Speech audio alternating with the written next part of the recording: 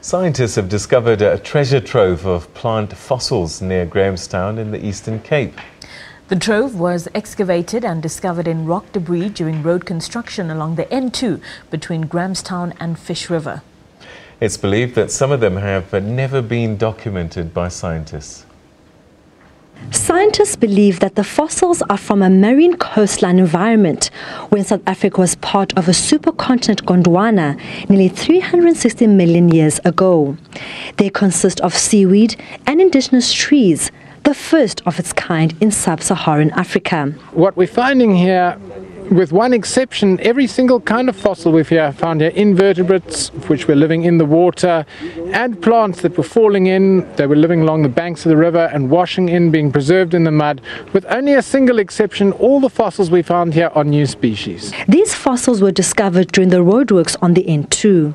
SANRAL says it will make sure that this site is preserved for future generations. SANRAL is an environmentally sensitive organization, has decided to preserve some some of the most uh, important fossils here on this site.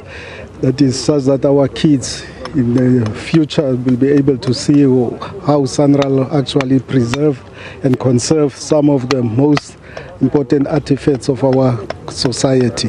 Kokela Kamaku has been working as an excavator since 2011. Didn't know what a fossil was uh, uh, year, uh, years ago, but still we had the museum and all these resources to teach us about all these things. But you know, people don't go there. You know, it's like we need to take it to the community. SANRAL has also set aside certain portions of the site for research purposes.